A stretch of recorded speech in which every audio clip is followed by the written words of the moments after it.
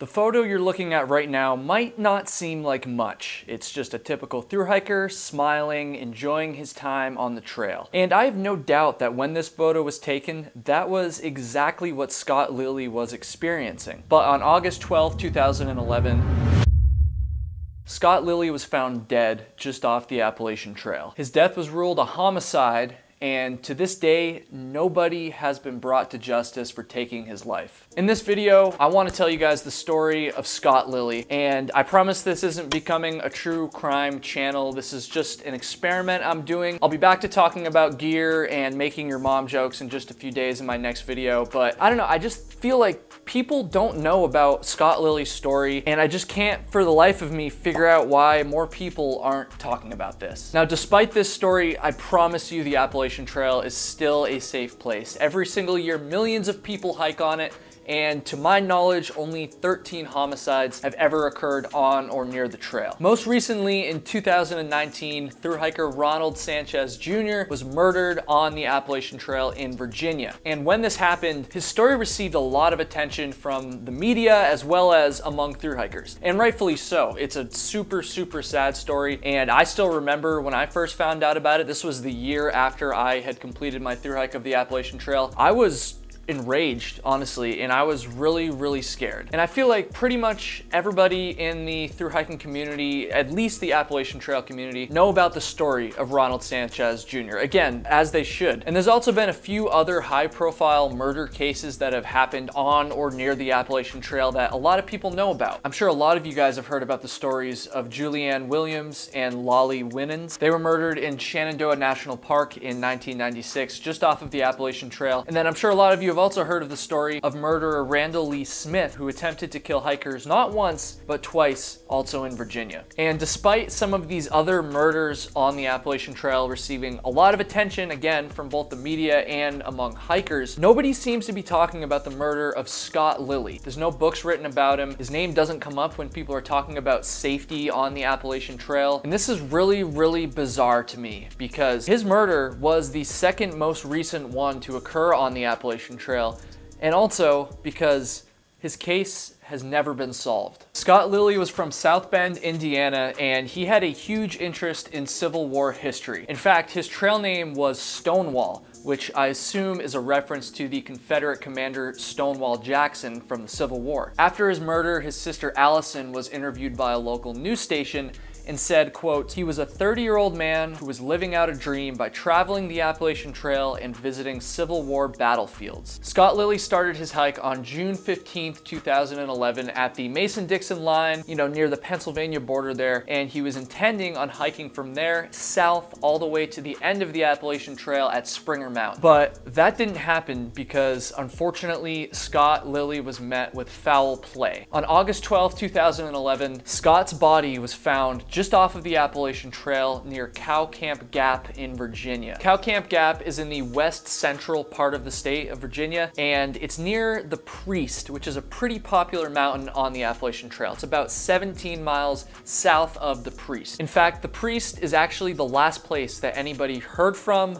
or saw Scott Lilly, and this occurred on July 31st, 2011. And this is pretty crazy because that means almost two weeks went by between the last time Scott Lilly was seen or heard from and the time that his body was discovered. He had allegedly camped at the priest shelter around the time that he was last seen, and it seems like his intention was for that next day to hike to Cow Camp Gap shelter. And given that his body was found very, very close to the shelter, it seems as though he made it before he was murdered. Scott Lilly's body was found in a shallow grave, and later on, when an autopsy was done, his death was ruled, I have a really hard time with this word, so do forgive me, asphyxia by suffocation, which obviously meant the death was ruled a homicide. And one thing that strikes me as really bizarre about these circumstances is that most of his backpacking gear was missing from the crime scene. And this included his blue or purple backpack, his Ozark Trail hiking shoes, and one of his, as through hikers and backpackers we would call luxury items, which was a small handheld Nintendo game. Like I said, none of this stuff was found at the crime scene, and to my knowledge, none of it has ever been found. And I bring this up because it's assumed these items were taken by the killer. Now, I'm not here to try to solve this case. I just simply want to tell Scott Lilly's story. But if I had to interject just a little bit, I just find it really hard to imagine that another through hiker or backpacker could have killed him and then taken his stuff because that backpacker would have already had all of their heavy gear. Again, this is 2011. So yes, ultralight backpacking was a thing back then, but it wasn't nearly as common, so gear was heavier. And even if it was just as common, I just think it's really hard to imagine another backpacker killing him and then carrying out his gear in addition to their own gear and not being detected. That just seems very unlikely to me. Definitely possible, don't get me wrong. And again, I don't know the answers to this case, but it just doesn't seem like the most probable scenario. Since Scott Lilly's murder took place on federal land in the George Washington and Jefferson National Forest, the FBI became the primary agency responsible for the investigation. However, they weren't the only ones investigating because the Virginia State Police, as well as the National Park Service and the U.S. Forest Service was also involved in the investigation. In September of 2011, you know, a short time after the murder had happened and while the investigation was ongoing, the FBI released the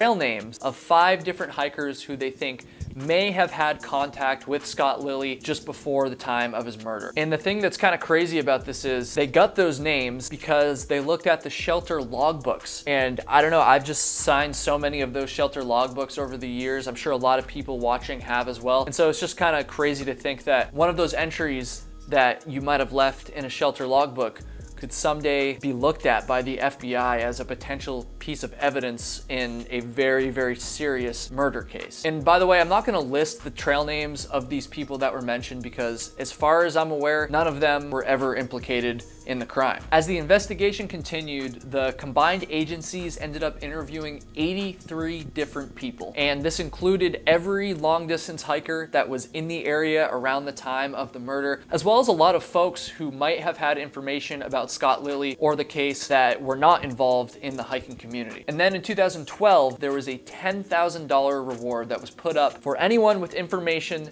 that could lead to the arrest and conviction of Scott Lilly's killer. In doing my research, I'm not really sure if this reward came from the FBI themselves or from the family of Scott Lilly. I got some kind of conflicting information there, but I do know that this reward was put up. And I also know that the investigating authorities were particularly interested in hearing from 2011 through hikers. And that makes sense because obviously they might have had some connection to Scott Lilly. Not saying that, again, any of them were implicated in the crime, but if anything, anything, maybe they could provide some information that could have helped the investigation. But they were also interested in hearing from 2012 hikers. And I think the reason for this was because they wanted to know if anyone in the area, you know, just a year after the murder occurred, might have noticed anything unusual. I'm assuming here, but I imagine that maybe they were looking for hikers who might have accidentally stumbled across any of that missing gear that was taken from Scott Lilly after he was murdered. And another thing I want to note here is that so far the authorities authorities have not drawn any connections to other murders or disappearances in the area. Because it's kind of crazy, a lot of the high profile murder cases that have happened on the Appalachian Trail seem to have taken place in Virginia. But it does seem like there was some speculation that Scott Lilly's case might have been connected to some of the other ones like the double murder that took place in Shenandoah National Park. But again, the authorities have pretty clearly stated that they have no reason to believe that Scott Lilly's murder was connected to any of these other ones, it really does seem like an isolated incident. Despite all of the investigations and the reward that was put out, nobody knows who killed Scott Lilly. No suspects have ever been named, and Unfortunately, the case seems to have gone cold. I wasn't involved in the through hiking community in 2011. I'm pretty sure I didn't even know what the Appalachian Trail was in 2011, but I went back and did some research online and it seems like at the time and just after the murder, there was some chatter amongst people online about it. But in recent times, it seems like that chatter has pretty much dried up to zero. Not only among hikers, but also among the media and even the police. This is just my personal personal opinion, and there's definitely a chance that I missed something here, but from what I've seen online, it doesn't seem like investigators have released any new information about the case or any calls for more information from the public since 2012, just the year after it happened. Again, I definitely could have missed something there, so if you've noticed any press releases from the authorities about this case since 2012, please leave a comment and let me know. There has been a few true crime podcasts and like blogs that have covered this story a little bit more recently, but even those are pretty few and far between. And I think what's most startling and just bizarre to me is that I haven't seen anybody involved with the trail community